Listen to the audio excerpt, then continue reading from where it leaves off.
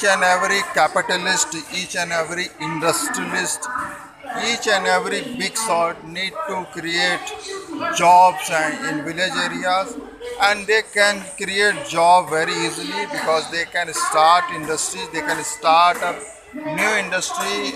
They have that capacity they have that skills they have uh, that much of understanding they have that kind of courage they have that kind of leadership and they have that kind of support that they can create lots of lots of industries in the village.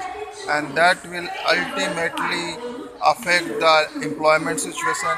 Definitely we will see more employment if we are able to establish more industry in the village area. It is very much important that we must focus for industries in the village area. It could be agro based it could be non agro based it could be farm based it could be non farm based it could be anything. Government is supportive. Each one is supportive.